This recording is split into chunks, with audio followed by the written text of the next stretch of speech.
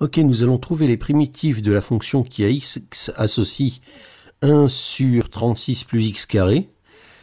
Et euh, pour ce faire, nous allons calculer euh, l'intégrale de 0 à x de 1 sur 36 plus t carré dt.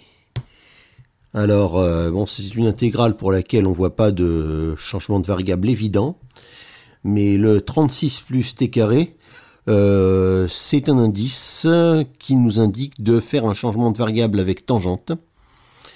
Et on va voir euh, pourquoi.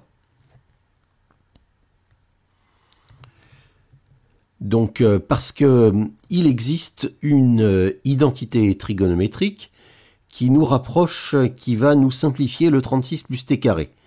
Et cette identité trigonométrique, ben, on va revenir un petit peu dessus. En fait, c'est l'identité qui dit que 1 plus tangente carrée de θ, pour n'importe quel angle θ pour lequel la tangente est définie, est égal à... est égal à quoi Eh bien, euh, redémontrons-la. Hein, tangente carrée de θ, c'est euh, la tangente, c'est le sinus sur le cosinus. Donc je vais réécrire ça.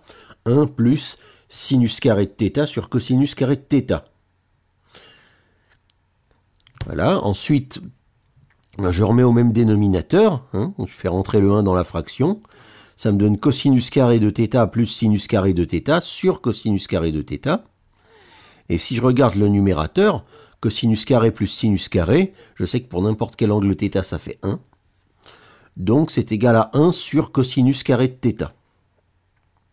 Donc j'ai cette identité, 1 plus tangente carré de θ égale 1 sur cosinus carré de θ. Donc si j'arrive à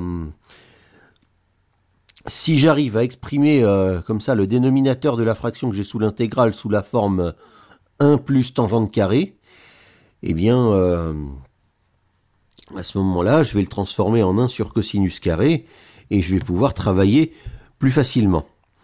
Et comme j'ai comme sous l'intégrale que j'ai là, j'ai pas 1 plus quelque chose, j'ai 36 plus quelque chose. Bah, la première chose qu'on va faire, c'est de factoriser par 36. Hein, on va dire que cette intégrale est égale à l'intégrale de 0 à x de 1 sur 36 facteur 2, parenthèse, 1 plus t carré sur 36. Et j'oublie pas le dt. Voilà. Et pour me euh, donc pour avoir pour faire apparaître l'identité trigonométrique dont j'ai parlé, ben ce serait bien que je puisse identifier le t carré sur 36 qui se trouve là, que je puisse l'identifier à un tangente carré de θ. En fait, ce qui serait bien, c'est que donc, donc que mon t carré sur 36 soit tangente carré de θ. Réussir à faire un changement de variable qui fasse ça. Ce serait donc en quelque sorte, si je prends la racine carrée des deux côtés du signe égal, ce serait donc en quelque sorte dire que t sur 6 est égal à tangente de θ. Voilà.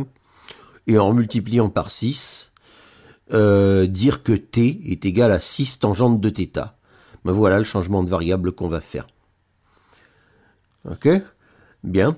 Maintenant, il va falloir, euh, pour faire ce changement de variable, appliquer les procédures habituelles, c'est-à-dire, premièrement, dériver t en fonction de θ. Donc, écrire dt égale dérivée de cette fonction fois dθ. Donc, dt égale, euh, quelle est la dérivée de la tangente ben, si tu t'en rappelles pas, on va, on va le refaire à part. Hein. On peut très bien dériver la tangente euh, comme un quotient, puisque la tangente c'est le sinus sur le cosinus. Ben, on va écrire que la dérivée de tangente θ, c'est la même chose que la dérivée de sinus θ sur cosinus θ. Et euh, ça, ça se dérive comme un quotient, un u'v moins uv' sur v au carré, pour, une, pour la dérivée d'une fonction u sur v. Eh bien, dérivons comme un quotient, ben, euh, la dérivée du sinus de sinus θ, c'est cosinus θ, que je multiplie par le dénominateur cosinus θ, ça me donne cosinus carré de θ, moins euh, plus moins donc euh, sinus θ fois la dérivée de cosinus θ.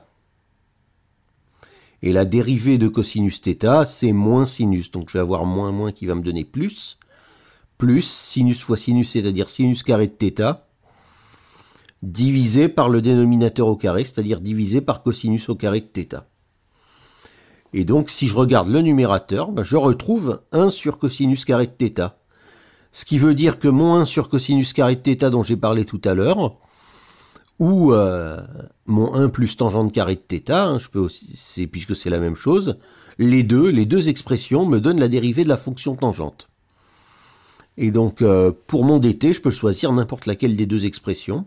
je vais par exemple choisir que dt est égal à 6 fois dérivée de la tangente. Je vais prendre 1 plus tangente carré de θ. Et je n'oublie pas de remultiplier par dθ. Voilà, donc à la place de dt dans l'intégrale, je vais mettre 6 fois 1 plus tangente carré de θ dθ. Maintenant, on va voir ce qui arrive aux bornes. Lorsque t varie, varie entre 0 et x, donc l'intervalle varie θ.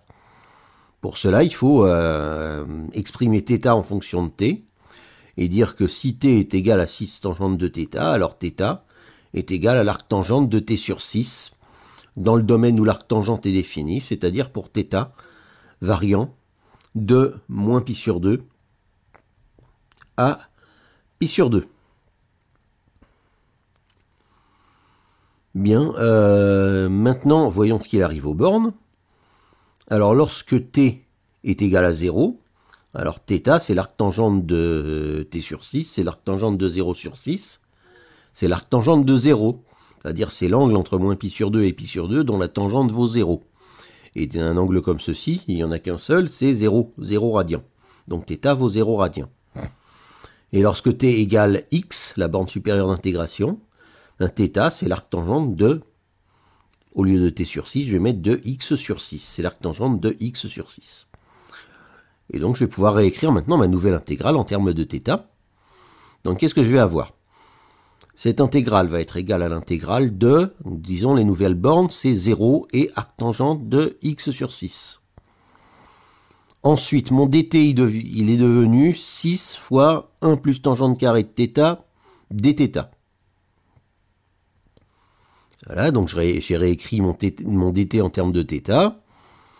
Et au dénominateur, qu'est-ce que j'avais Moi j'avais un 36 que je recopie. Et j'avais 1 plus t carré sur 36. Mais tu te rappelles, on s'est arrangé pour que le t carré sur 36 soit exactement la même chose que tangente carré de θ. Donc j'ai 1 plus tangente carré de θ. Et là, bon, qu'est-ce qu'on constate Les 1 plus tangente carré de θ se simplifient. Donc on peut les barrer. Et ça me donne tout simplement, et même euh, le 6 avec le 36 va se simplifier également. Et donc, qu'est-ce que je vais obtenir? Je vais obtenir, après toute simplification faite, j'obtiens l'intégrale entre 0 et arc tangente de x sur 6 de 1 sixième fois dθ. Et donc, j'intègre une fonction constante. Et quand on intègre une fonction constante, on obtient une fonction affine. On peut prendre la fonction linéaire. Autrement dit, tout ceci c'est égal à 1 sixième fois θ, hein, la, la, fonction dont la dérivée donne 1 sixième, à prendre entre 0 et arctangente de, de x sur 6. Bon, lorsque θ vaut 0, 1 sixième de θ va valoir 0, donc la seule chose qui me reste à faire, c'est de prendre ceci en, euh, en la valeur arctangente x sur 6, et ça, ça me donne 1 sixième de arctangente x sur 6. Et pour avoir la primitive, il me reste plus euh, qu'à faire varier la constante. Ici, c'est comme si j'avais un plus 0, ben, il faut que je mette plus c. Et donc, je vais dire que les primitives de la fonction qu'on m'a donnée au départ, ce sont les fonctions de la forme 1 sixième de arctangente de x sur 6 plus c.